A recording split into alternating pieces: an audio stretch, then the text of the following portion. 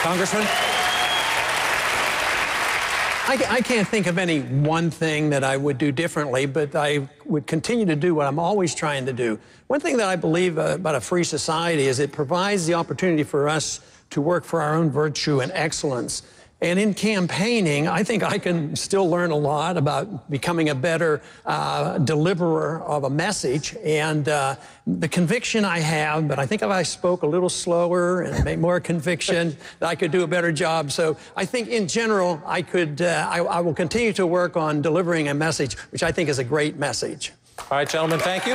Let's get back to our issues discussion and let's begin with a